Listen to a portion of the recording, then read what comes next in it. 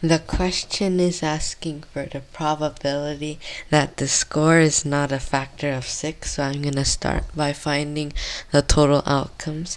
If we roll a dice, there's going to be 6 outcomes. One, two, three, four, five, and then 6.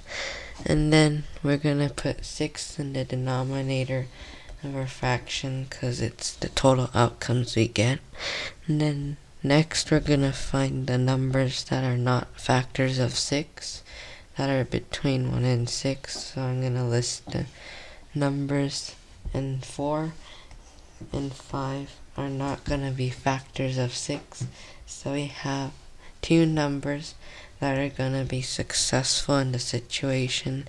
So we can write 2 in the numerator of the fraction. And then if we simplify 2, 6, we get one third as our answer.